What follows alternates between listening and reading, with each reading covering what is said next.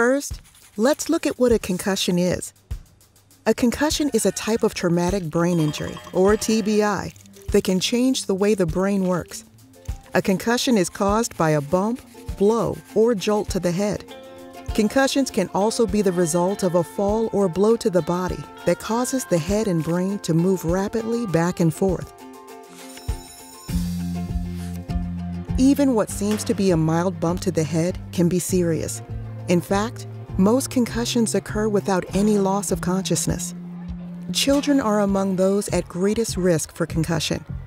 Thousands of children are seen in emergency departments each year for concussions. Children's brains and bodies are still growing, and an injury to their developing brains may put them at risk for more serious injury or long term developmental problems. The potential for a concussion is increased when children are active, such as during PE class, playground time, or sports. However, concussions can happen anytime a student's head comes into contact with a hard object, such as a floor, desk, or another student's head or body. Concussions can also happen as a result of a fall or motor vehicle crash. While the events that lead to a concussion may sometimes be dramatic, concussions themselves are harder to see. Let's learn more about concussions as an invisible injury.